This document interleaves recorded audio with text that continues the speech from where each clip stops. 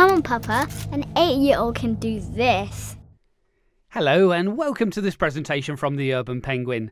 My name is Andrew Mallett, and today we're going to delve into a little bit of group management on our Red Hat Enterprise 8 system. And no, don't worry, it's not just GroupAdd and GroupDel.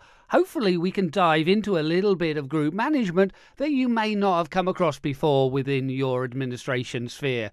We're going to be taking a look at how you can set administrators of groups.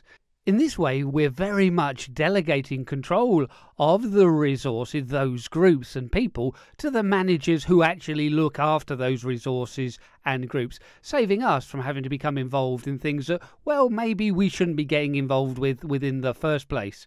I'm also hoping that this is something that you haven't come across before and you're able to learn from me. And you can see by taking your training from the Urban Penguin that you're able to get more than perhaps you do on your standard Red Hat courses.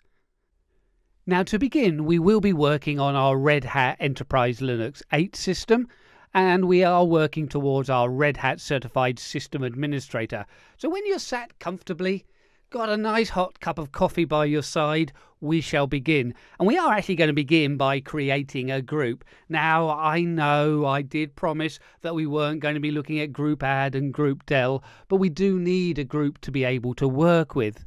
So here we go then, and I'm going to create myself a group. Of course, I've got to preface it with uh, sudo, so sudo and group GroupAdd. I'm going to set the group ID. I'm going to set it to a higher number because I then really don't want the group IDs to clash or get mixed up with any of the private group IDs that I'm using for my user accounts.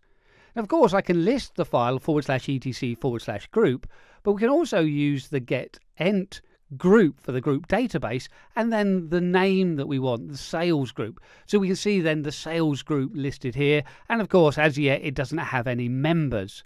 To add members through to the group, we use the gpasswd command.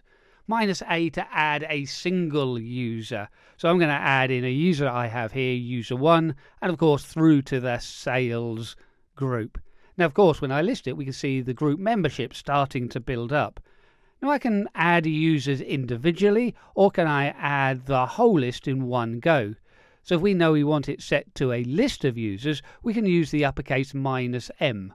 But we've got to mention every user that should be a member of the group. It's overwriting the membership. Now, there you go. We've got some users.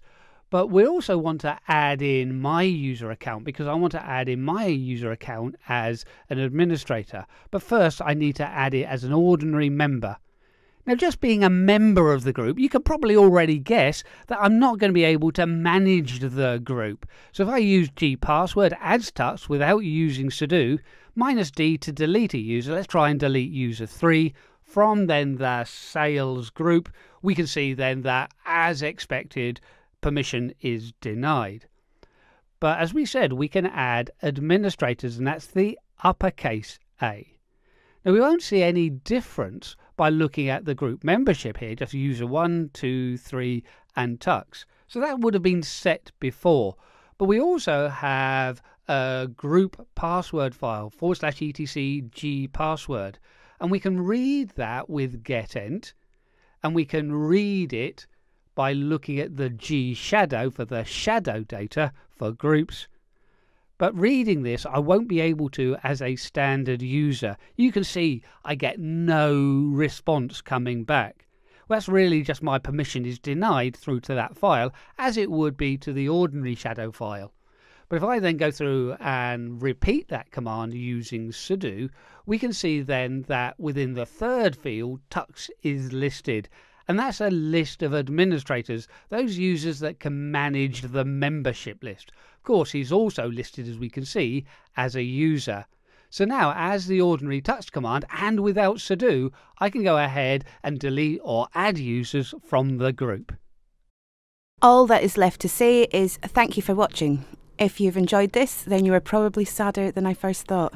For more of this drivel, please subscribe, like, and comment to at the Urban Penguin.